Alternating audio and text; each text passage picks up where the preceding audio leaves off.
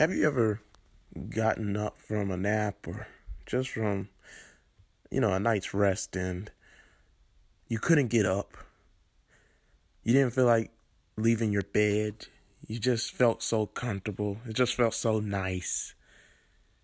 And you just didn't want to go anywhere. You didn't want to go to the place that you had to go to.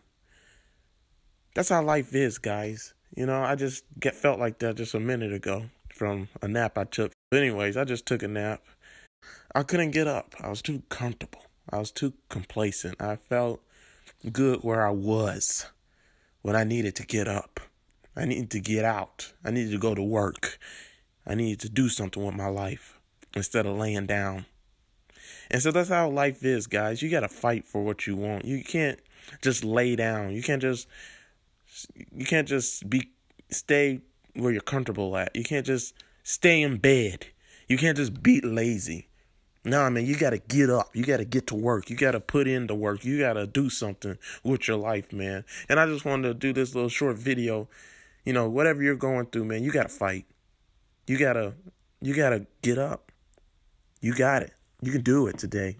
So, man, go ahead, man. Every single day, man, even though you want to give up, you just want to stay down, you just want to lay down, don't. Don't. Tell yourself, man, it's time to get up. It's time to go to work. It's time to get out. Because it is, man. And that's the mindset we gotta have, man. Always, man. It's a it's a kill or be killed mentality in life. It's a fight or flight or freeze mentality in life, man. So if you're just staying in bed, you're freezing, man.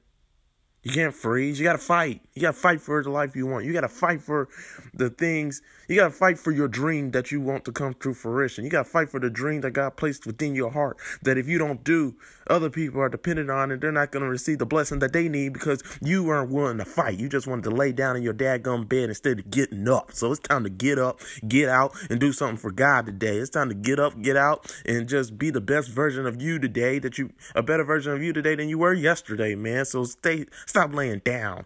Stop being lazy. Stop being complacent. And you know, obviously, it's not just talking. I'm not just talking about you being lazy and complacent in the bed. Because some people are like that just naturally all day. They're always in the bed and they're not even in the bed with their mentality. That's the way they live. Don't be like that. There ain't no successful person in life like that.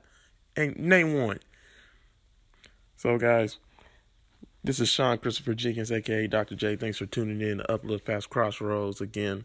If you haven't already, please hit that subscribe button. After you hit that subscribe button, hit the bell that appears so you'll be notified anytime I upload another video. Also, you already know, follow me on all my social media platforms. They are lit, the best social media platforms you don't ever see in life.